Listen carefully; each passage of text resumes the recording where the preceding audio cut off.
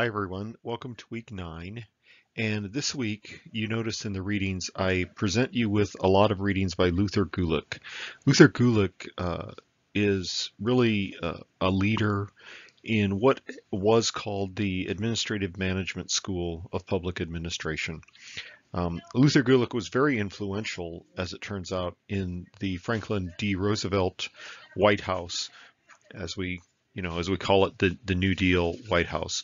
And of course, FDR is known for really increasing the power of the presidency, but this didn't occur in a vacuum. It wasn't as if uh, FDR somehow did this without, uh, you know, in secret without Congress knowing it. Congress actually was a willing participant, as we'll see. Um, but Luther Gulick served on a group called the Brownlow Committee. And the Brownlow Committee really was responsible for developing a lot of the structure of the expansion of the executive office of the president. So really what I want to talk about this week uh, and with your readings and with your discussion uh, from the public administration standpoint is what what does this have to do with administration? Well, what it has to do with administration uh, is is this. If you look at the Kettl reading that you're assigned, Kettl chapter 5, the executive branch that Kettl describes in chapter 5 is really much more complex than the executive department envisioned in the Constitution. I mean, you can make the argument that Hamilton, at least, and and Madison as well, expected the executive and uh, probably the Congress to expand and to grow into the Constitution. That argument can legitimately be made. But even if you say that, um, you have to agree that the executive department envisioned by the founders really was a lot smaller than than what we know today uh, in our current time, and really was a lot smaller than the uh, executive office of the president that that really came to be during the administration of Franklin D. Roosevelt. And so I want to talk about this impact of Gulick and Brownlow um, and the ongoing, really, executive legislative tensions in our constitutional framework. We can even see this today, right? Um, and this applies at every level, really, of our federalist system. You know, even at the state level, we see tension between the governor and the legislature we see tension between elected mayors and elected councils in various cities in the United States. And really, this kind of tension is, is partially built in to our constitutional understanding of separation of powers. So I want us to take some time this week to think about how uh, this came to be during the 1930s and, and see how that affects us today.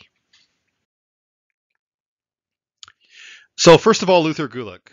So Luther Gulick wrote about the theory of administration. As I said, he was one of the leaders of what is called the Administrative Management School of Public Administration. Um, Luther came up with uh, this acronym called POSDCORB, which we've probably touched on before. I'm going to touch on it again later on here. But Luther believed very much in uh, an organized bureaucracy. He felt that uh, in any executive agency, uh, there should be division of labor by skill and task. He believed in functional departments by task group, for example, the typing department. Um, and he believed that there were limits on the division of labor. So in other words, you, you could actually divide labor too much. Um, you could end up sub-optimizing by subdividing uh, one full-time task. Um, you could divide labor where technology and custom define the task of the worker. Um, anyway, um, you could do physical subdivision, um, but you shouldn't do organic subdivision. So what he meant by that was that you can you can subdivide workers physically, but you really shouldn't subdivide them if if you're actually subdividing the synergy that they have together. Um, but through all that sub that division of labor, I should say, he really strongly believed in coordination of effort. So coordination is required because division of labor does by itself create confusion and poor communication. And so again here, Gulick's answer was proper organization. Let's move into a little more of what Gulick was talking about. So um, what Gulick believed was that an ideal organization should establish a system of authority. That is, there's a single directing authority, but uh, there are other authorities below that directing authority. So that single directing authority defines the task to be done, um, appoints a director, determines how to subdivide tasks, and establishes the structure of authority between the director and the workers to enable coordination. So what does all that mean? What all that means is before uh, anyone even issues the check to the client, for example, the organization is completely set up and thought through. And so the administrative uh, management school of thought really believed that what mattered most was the way you organized. Um, so span of control is very important in this organization. There isn't a magic number and it varies by the work. But but really, as you read this slide, think of this, you know, some of the ideas we get to are things like, you know, an ideal span of control is three to six workers per supervisor. Um, and we still we still use these kinds of rules of thumb in organizations that we're part of. Um, unity of command is essential in organizations. That is, that outside organizations will coordinate with you, but they will not command you. Um, and that executives and directors are, are specialized in functional areas. And so Gulick came up with this idea of POSDCORB to really say what executives were supposed to do. So POSDCORB stands for planning, organizing, staffing, directing, coordinating, reporting, and budgeting. So the idea is, if, if the question is, what does an executive do? This is what an executive does. These tasks under POSDCORB, planning, organizing, staffing, directing, coordinating, reporting, and budgeting. So no matter what your particular bureaucracy happens to be, you're going to be involved in these activities. And every executive will be involved in these activities. And so take a minute, uh, you might put this on pause or whatever, to look at those and understand what Gulick's talking about because it's going to relate to his later work having to do with the executive office of the president. Gulick, um, one of his strongest emphases was the enhancement of executive power, both within a particular organization and among the organizations of the executive branch that is the executive branch of the President of the United States. Um, Gulick said, neither the public nor the legislature is capable of the planning needed by effective government. So if the goal is effective government, Gulick's idea is that the executive, that is the president, plans for what should logically happen in government. In other words, the executive is in charge of strategic planning. So where does that leave the, the legislature? Where that leaves the legislature is actually as a veto point. Um, it's up to the legislature to see what the president's plans are and really and truly second guess the president. Um, not not all the time, but perhaps second guess and adjust what the executive says. Um, and so this idea for Gulick is that the ideal government is one in which the chief executive, supported by special staffs, draws the plans, the legislature accepts or rejects proposed policies. And so Gulick became part of uh, a special commission that was formed in the Roosevelt administration called the Brownlow Committee. Uh, consisted of Louis Brownlow, Charles Merriam, and Luther Gulick to make recommendations for how the presidency should be organized. And so remember, this is in the 1930s. We, you know, the country is already 150 years old, but um, now Gulick and his cohorts are reorganizing the executive. So here's what Gulick said about executive power, and he's talking about executive power in government, that the government does play a positive role in society, uh, especially acting in the case of market failure. Um, but there should be public-private partnership, basically. He says that the executive branch at all levels of government, and that would be at the state level as well, and even at the city level, proposes and implements policies, while the legislature should be uh, limited to approval or rejection of executive proposals. He believed that the chief executive office should be strengthened through improved staff support.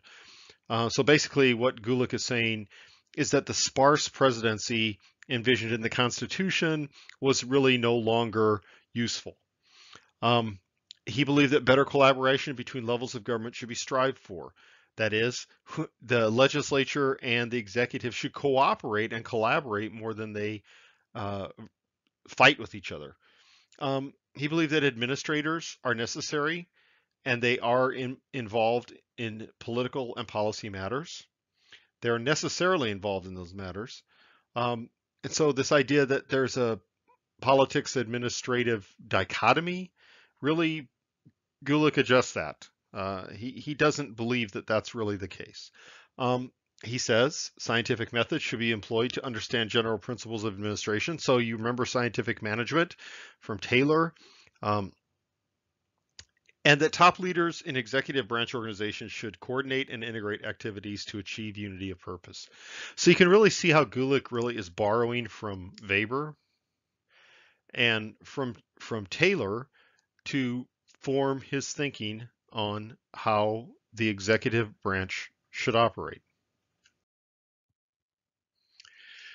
So there was this committee called the Brownlow Committee, which I talked about the members of the Brownlow Committee a couple of slides ago. Um, go down to the very last bullet there. Uh, it says that an act enabled FDR to submit reorganization plans, the most significant of which was the Executive Office of the President under what was called Reorganization Plan Number One. So I'll go back to the top of the slide where I say Brownlow and the Reorganization Act of 1939. The Brownlow Committee proposed all of these things that the White House staff had to be expanded, that the managerial agencies in the executive department, um, particularly those that dealt with things like budget and personnel, should be strengthened, that the merit system, uh, that is the civil service system, should be extended in the executive office of the president so that the best talent could work in government service and that the entire executive branch of government should be overhauled and reduced to a few large departments. Okay, here's how the Brownlow Committee and the Reorganization Act of 1939 connect with each other.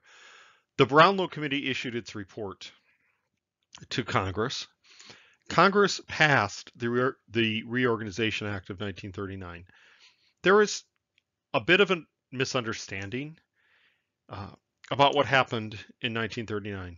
Um, yes, it is very true that the power and the scope of the presidency under the four administrations of Franklin Roosevelt did expand. Um, what's not true is that Roosevelt somehow did this in an underhanded way, uh, in a way that undercut the power of Congress. Congress was in on the action. Um, Congress passed an act to reorganize the White House as a branch of government. So what does that say? Well, what it says really is that Congress here in 1939, uh, 150 years after the founding of the country and the Constitution, was basically saying the small presidency is no longer adequate. Um, and Congress said the executive needs to do at least some of the things that Gulick said the executive should be doing. That is, being the leading branch in government, if you will. That doesn't mean that the tension between the legislative branch and the executive branch ended there, because it certainly didn't, as we're going to go forward and see in the next few slides. So this is the executive office of the president approximately currently. And if you look at that, um, that document that I asked you to read from the Congressional Research Service, it talks about some of these agencies. But what I want you to look at is all the various things that uh, are part of the executive office of the president. And also look at uh, the offices that require confirmation by the Senate and the ones that don't require confirmation by the Senate. Uh, of course, the second line down, and maybe I should head that first, is the office of the vice president. There's uh, there's a large office of the vice president with some of the same kinds of officers serving in the vice president's staff. Um, but look who requires confirmation and who doesn't. Of course, the chief of staff to the president doesn't require uh, Senate confirmation, although arguably some chiefs of staff have been the second most powerful person in government, really, um, more powerful than the vice president in many cases.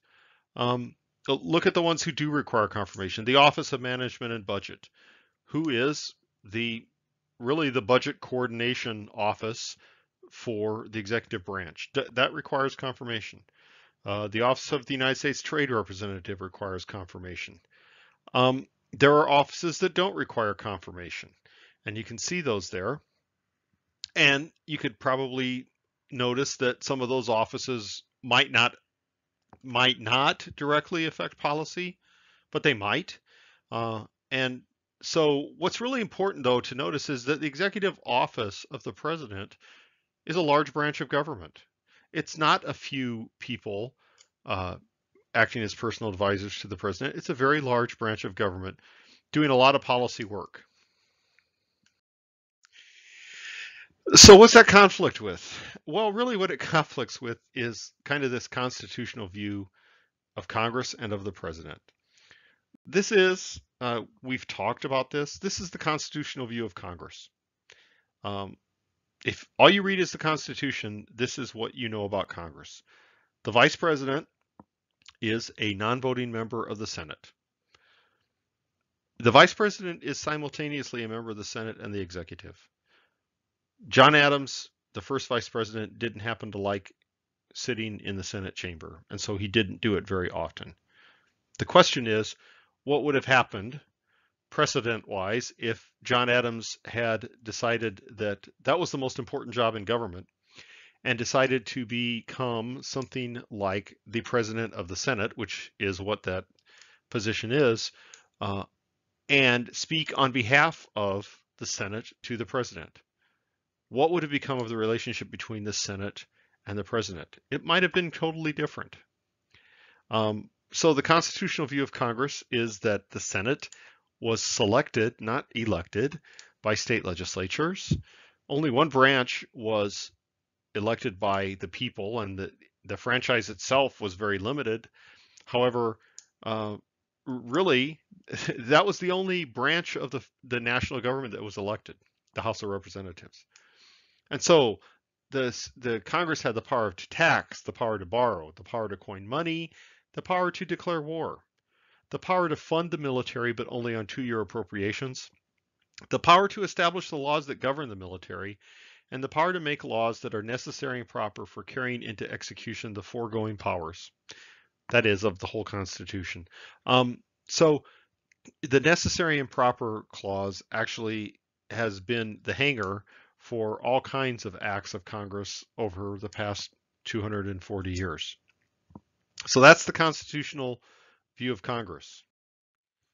This is the constitutional view of the presidency, and this is the view that really was taken to task by the Brownlow Committee and the Reorganization Act of 1939. Executive power was vested in a president of the United States. The president was indirectly elected, um, chosen by states with state discretion on method. The president was the commander in chief of the Army and the Navy and the militia, and the part that everybody forgets about was what the Constitution says was when called into actual service of the United States. Um, my argument is that the way the Constitution is written, uh, the military belonged to the Congress. The, the Congress made the laws for the military. The president did become the commander in chief when called into actual service of the United States. Um, that changed.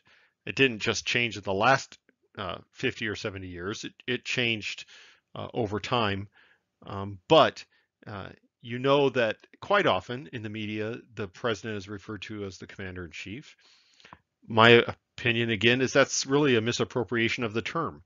Um, that wasn't a term that you would have heard the founders using to describe the president, unless we were fighting a war. Um, yes, the, the president does have power to make treaties with the advice and consent of the Senate. The president does have the power to appoint officers with the advice and consent of the Senate. Um, the president, from time to time, must give Congress information on the State of the Union, which is an interesting wording from time to time. And most early presidents did that by writing a letter. There wasn't the State of the Union address as we know it now, the pageantry. There wasn't any of that. It was a letter from the president to the Congress. Um, unbelievably, the president has the power to convene and adjourn Congress. It's never been used.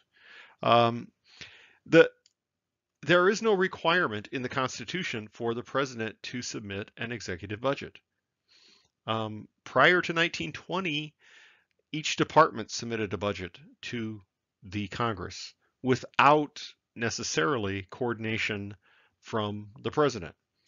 Um, there was there is no ability of the president to declare war unilaterally without the Congress, and this is the constitutional view of the presidency. And so we've read this, and so this is just a review, but Federalist 51 said that ambition must be made to counteract ambition. Um, what were Hamilton and Madison talking about there? Well, they were talking about the relationship between the executive and the legislative and between the central government and the states. Um, so in a republic, the legislative authority necessarily predominates. This is what was said in the Federalist Papers. That is, the executive was seen as a weak branch, having only a veto power. Was the question is, is that still true? Um, so the government was to be federal, though this certainly means more than three levels of government, um, because it was interlocking. So again, in the Constitution, the Senate represented the states, not the people. So if you can separate the interests of the people in the states against the interest of the state itself, that's what the Senate was about. And so there's an argument, uh, an argument that actually I make, um, that when this the amendment was passed to allow direct election of senators, that probably could have been the time when uh, the abolition of the electoral college could be considered. Um, why do I say that? I say that because the election of the president really was in the Constitution something of a contest of preference between the states themselves, not the people at large, but between the states themselves. Well, right here, I'd like to switch gears a little bit, um, and I'd like to talk about this idea that the presidency really became the preeminent branch of government. And one of the ways I think this happened was through what I call the famous or recent president syndrome. And my proposition is that we remember these people as famous presidents because um, mostly because they expanded the power of the presidency vis-a-vis the Congress. Um, and the question is, if they had not done that, would the presidency have really been the dominant branch? So for example, I have a few examples.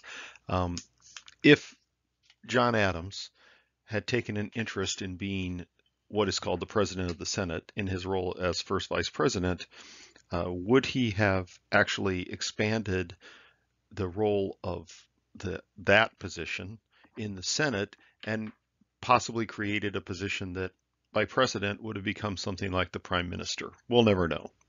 Uh, the election of 1800.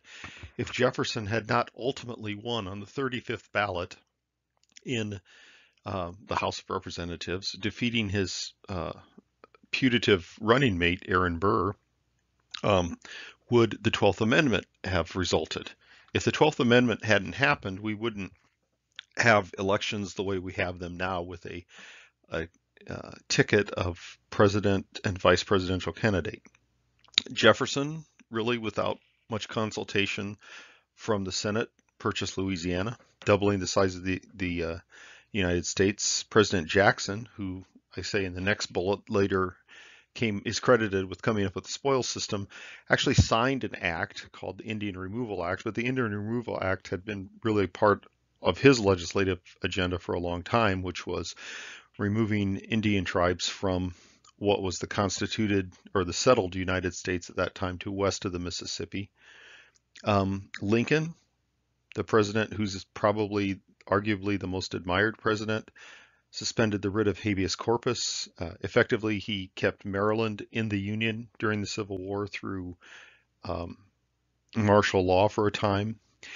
He's, he famously issued the Emancipation Proclamation, However, it's important to remember the Emancipation Proclamation really did not, after the war, free the slaves. That required an amendment to the Constitution.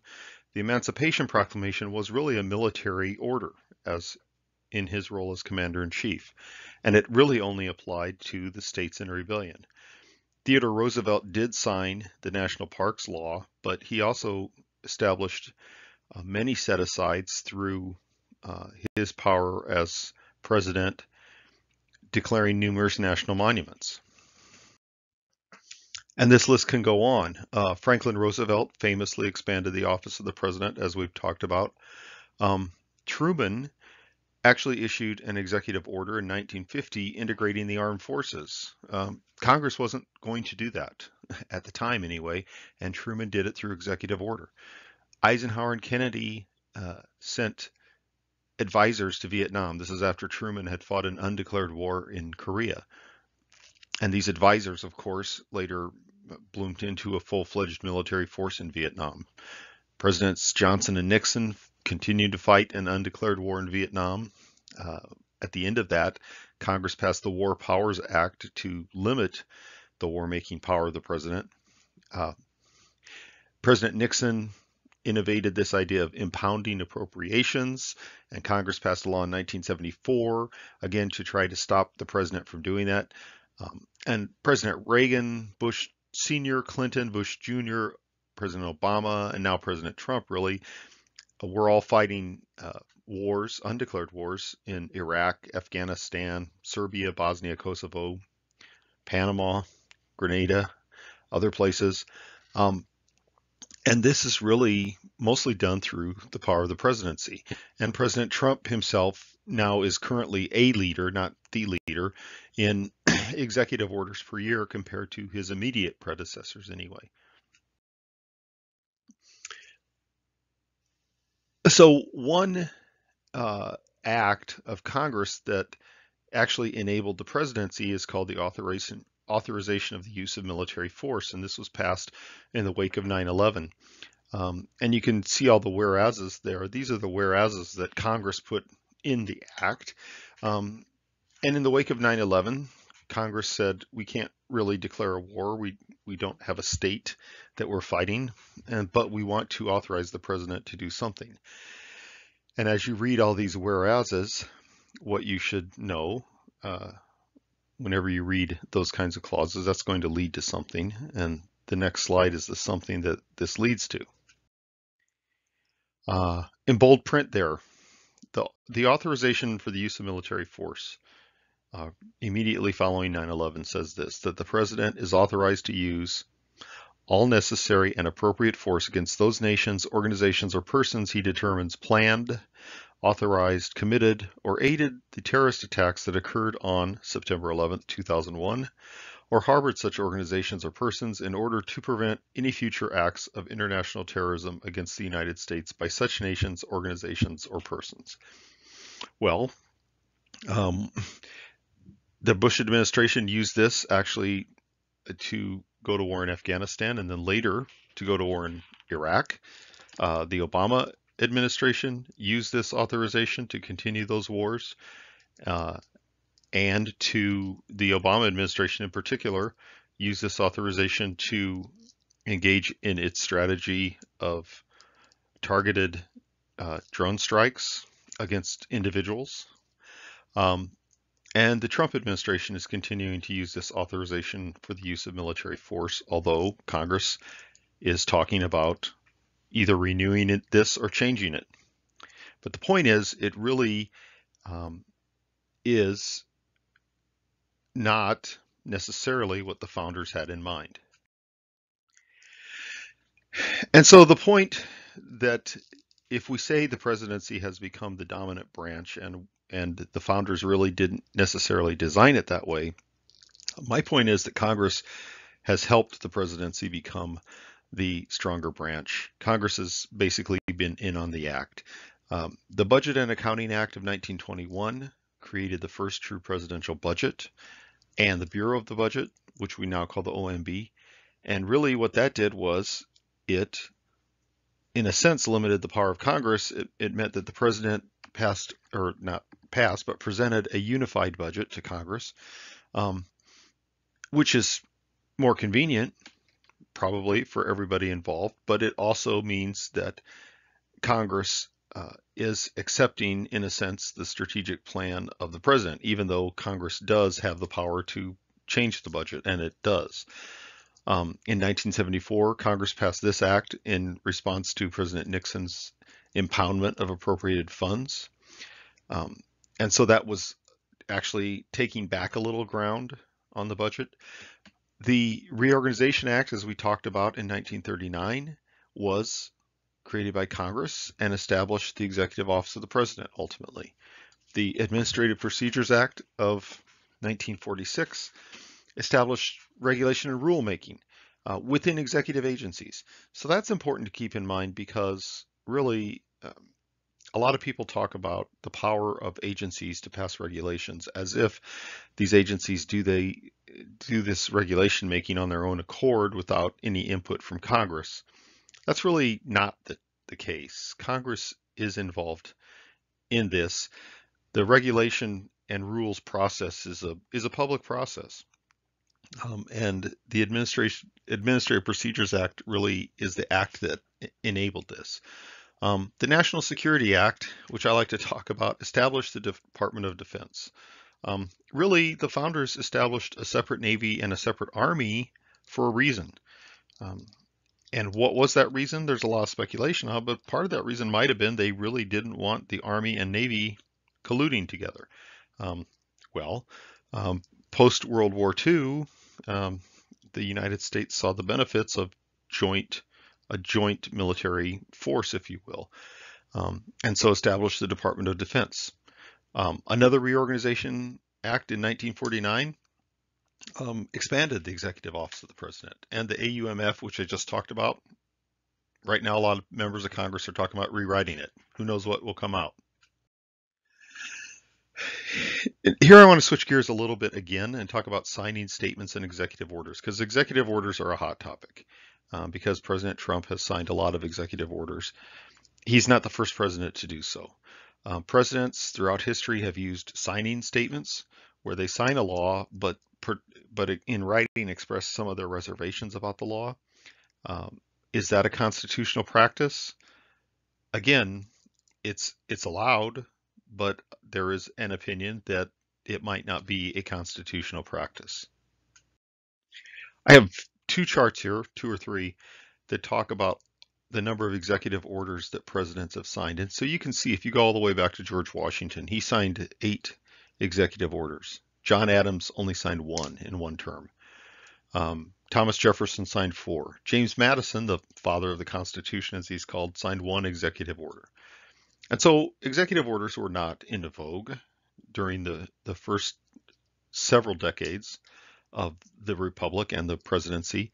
But in the late 1800s and early 1900s, executive orders started to be used more and more by presidents. You can see that Theodore Roosevelt on the on the chart on the right signed a total of over a thousand executive orders. Franklin Roosevelt, of course, signed um, 3,700 executive orders. Will anyone top that?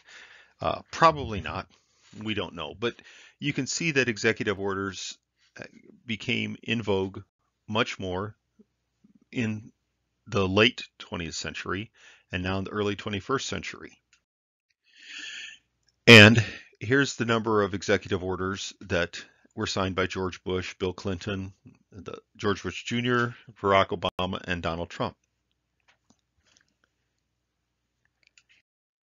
this chart shows um, really where the Trump presidency is at with executive orders right now. This was really through, um, this chart is through the end of April of 2017.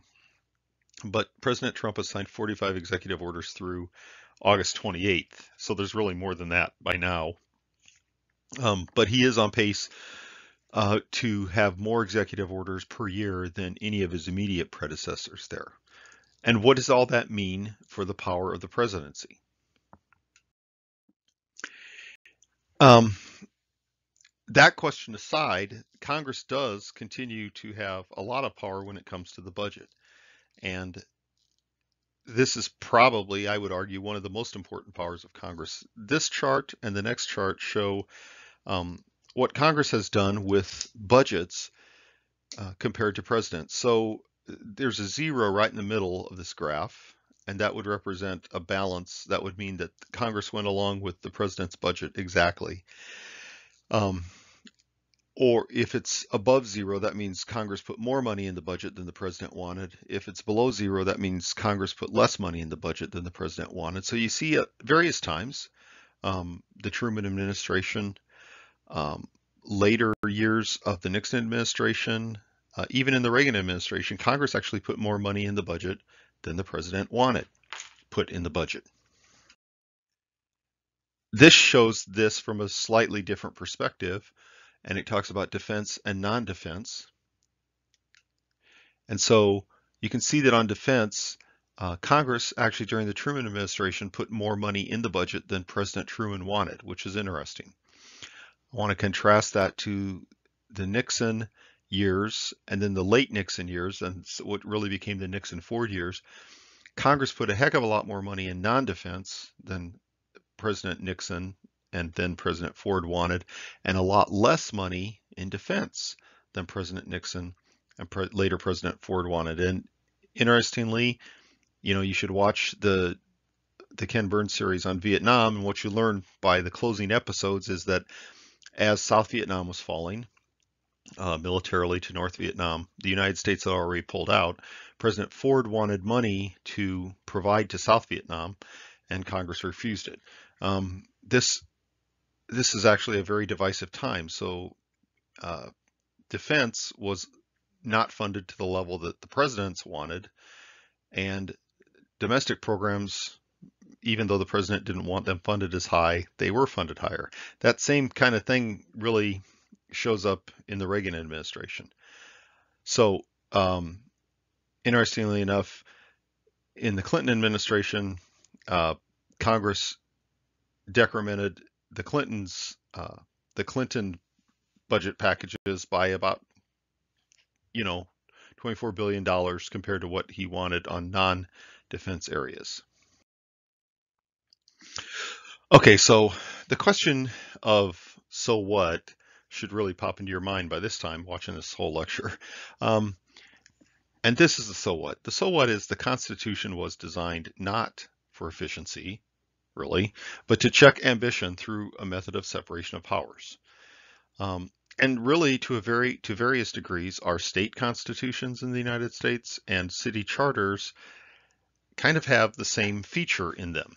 Um, not efficiency, but separation of powers. And so that idea led Wilson to think, and we read Wilson, Woodrow Wilson, thought the Constitution was problematic and inefficient because it inhibited smooth administration. He said as much. Um, during the progressive era, some progressives thought that city charters could be much more administratively viable if cities were reformed, essentially by removing uh, separation of powers. So reform cities, the, the city manager form actually has a council. The only elected body is the council who hires an executive, if you will, but oversees uh, that city manager as a hired employee. Effectively, really having a council that is both executive and legislative. Um, you, I had to read Rohr and Spicer and Terry and Stivers, and to some degree, they all talked about, you know, what would it be like if administration had some degree of independence, or should administration have some degree of independence? Um, And this goes really to the heart of arguing about separation of powers. And in a few weeks, we'll talk about new public management and see that um, reformers in the 1990s, one of the things they were wanting to reform was the inefficiency of bureaucratic government. Really, um, in a sense, they were talking about inefficiency of separation of powers. Um, and this continues to pop up when people run for office and say they want to run government like a business. What they're really talking about is being more efficient. That's the idea. But one of the ways to be efficient is actually to remove separation of powers. And so the question is, when people say our government is inefficient or governments in general are inefficient, it'd be interesting to deconstruct what they're talking about and ask, are they talking about separation of powers or are they just talking about administration being inefficient? So that leads me to this week's discussion. Um, what I really want you to do is talk about this idea that executive power has become more um, more noticed, right? Since since the founding of the Constitution, it has occurred that the presidency has become a much more powerful branch. So the question is, how do you think Will Hamilton and Madison, along with Jefferson and Wilson, would respond to the strengthening of the presidency through a creation of this administration administrative apparatus? So think about this question, um, and I'm looking forward to seeing your discussion. Thanks very much.